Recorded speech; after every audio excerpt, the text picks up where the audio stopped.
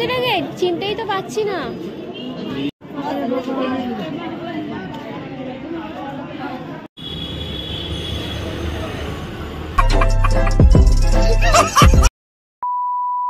Hello friends welcome back to our channel আজকে শুরু করছি নতুন একটা দিনে নতুন একটা ব্লগ আর হচ্ছে এখন বিকেল মানে বিকেল বলতে সন্ধ্যা হয়ে গেছে পুরো, আর আমি হচ্ছে বেরাচ্ছি বেরাচ্ছি বলতে একটু কালীঘাটে যাচ্ছি। ও গেছে ডিউটি ডিউটি থেকে মানে ফেরার পথে হচ্ছে যাব। আমি পুরো রেডি হয়েও গেছি, দেখছ? তো ও বলেছে সাড়ে পাঁচটায় বেরাতে আমি সাড়ে পাঁচটায় পুরো পাঁচটা পঁয়ত্রিশ হয়েছে, এবার হচ্ছে বেরাবো ও হচ্ছে কালীঘাট স্টেশনে বসে থাকো ও বলে, তুমি যদি আগে আসো তাহলে তুমি এসে বসে থাকবে, তাহলে আমি নালে আমি যদি আসি তাহলে ও এসে বসে থাকবে। তো এবার হচ্ছে বেরাবো সন্ধ্যা দিয়েও দিয়েছিস কারণ সন্ধ্যা হয়ে গেছে। সন্ধ্যাটা দিয়ে একেবারে বেরাচ্ছি এই সবে হচ্ছে বাস থেকে নামলাম, সব স্টেশনে এসছি।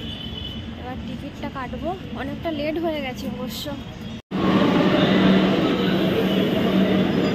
কতক্ষণ দাঁড়িয়ে?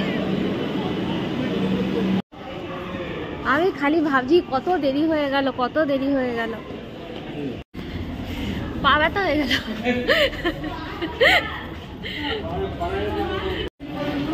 এইটুকু সিঁড়ি মারতে গিয়ে দম টাইট কেদারনাথে গেলে কি করতাম ভগবান জানে। যা বললাম এত লোক কিসে? কি কারণে? গঙ্গাসাগর থেকে তীরে কালীঘাটে কালী দর্শন করে সব যে যার মন্দিরে কতটা ভিড় হবে সেটাই ভাবছি। এই টাইমটা তো প্রচুর ভিড় হতে পারে ও লোক তো দলে দলে আসছে।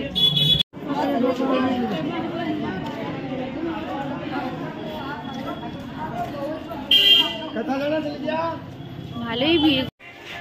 ও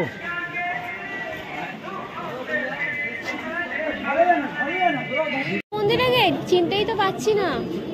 এদিকে গেট করে তো ওইদিকে গেট করে যেদিকে আসে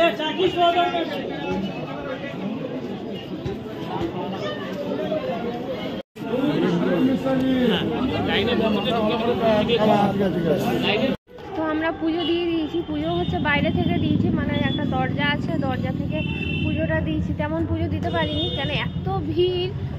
মানে লাইন ঠেলে ঠেলতে অনেক রাত হয়ে যাবে।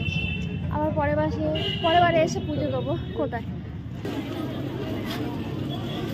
শাল পাতায় কচুরি হ্যাঁ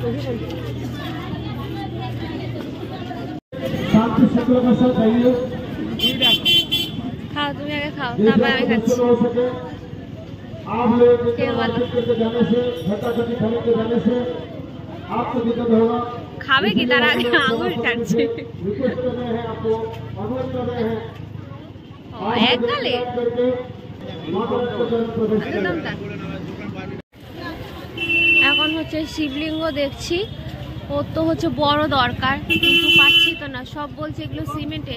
না এর থেকে বড় এর থেকে বড়। এই সাইজ হলেও চলবে না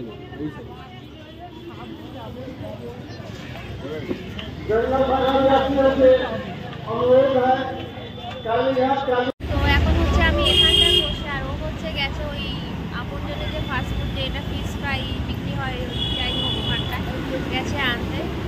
কচুরি খেয়েছি। আর হচ্ছে এখন হচ্ছে এটা খেয়ে তারপর হচ্ছে এটা তো কচুরি খাওয়ার একটা কারণ হচ্ছে যে শাল পাতা, ওটা তো খেতে হচ্ছে বেশি ভালো লাগে আমার। আর এখানটার এই মানে এই যে ফাস্টফুড যে ফিশ ফ্রাইটা সব থেকে ফিশ ফ্রাই থেকে আমার ফিশ ফিঙ্গারটা ভালো লাগে, জানি না কি অর্ডার দিয়েছে। আর ওখানে তো প্রচুর ভিড় ওখানটা আর জানি না এখানটা কার দোরগোড়ার সামনে বসে আছি। মানে আজ তো গাড়ি এখানটা নেই, তাই ঠেক দিয়ে দাঁড়াবো, তার জন্য হচ্ছে এখানটা বসে আছি। ওখানটায় ও দাঁড়িয়ে আছে, ওই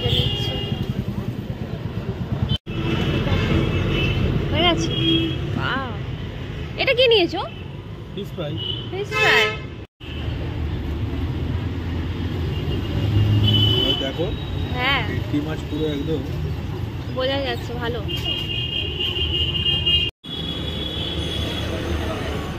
গরম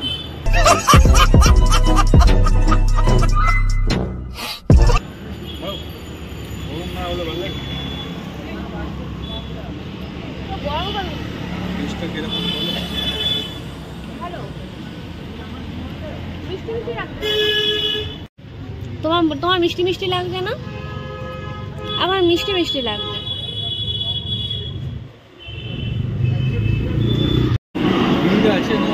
প্রচুর ভিড় তো। চলো উঠে যাই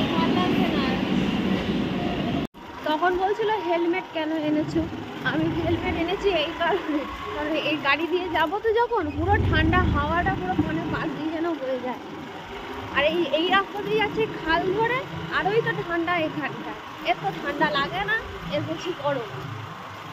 এই যে একটা পাতলা জামা পরেছে আর ভেতরে শুধু একটা গেঞ্জি পরেছে। মোট দুটো জামা পরেছে একটা ক্ষমতা গেঞ্জি আর একটা ইকুলা গেঞ্জি আমি কলকাতা থেকে হিমাচল প্রদেশ হ্যাঁ। একটা হাফ প্যান্ট পরে চলে হাফ প্যান্ট গলায় টাওয়াল হ্যাঁ। আর একটা গেঞ্জি পরে। সেটা শীতকালে? হ্যাঁ অক্টোবর মাসে। অতটাও ঠান্ডা থাকে না হিমাচল প্রদেশে পাহাড়ি জায়গা ঠান্ডা থাকে না পাগল? ওখানে গিয়ে পৌঁছে তারপরে জ্যাকেট বেরিয়ে